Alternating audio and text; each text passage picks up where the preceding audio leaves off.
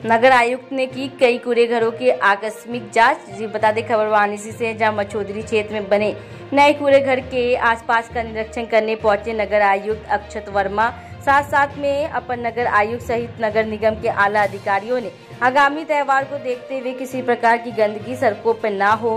कूड़ेदान जगह जगह रखने की व्यवस्था, अधिक की जानकारी ली। सफ़ाई कर्मियों को अपने अपने क्षेत्र में सक्रिय रहने की हिदायत दी गई है।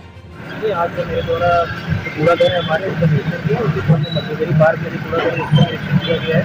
यहाँ पे जो भी कूड़ा फैला रहता है, उसको जो विजिबल कूड़ा है, उसको न दिखे तो हम यहाँ कम्पैक्टर रखवाने का एक प्रयत्न कर रहे हैं। कम्पैक्टर कितने रखवाने हैं, क्या रखवाने उसी में सर्वे किया जा रहा था। और उम्मीद है कि अगले एक सप्ताह में यहाँ जो कूड़ा है, वो दिखेगा नहीं, और कम्पैक्टर के अंदर ही रहेगा विजिबल कूड़ा कोई नहीं रहेगा। तो उसी का प्रयत्न है, उसी का सर्वे आज जो है, जो बनाने में है, उसके एन और हमारा सर्वे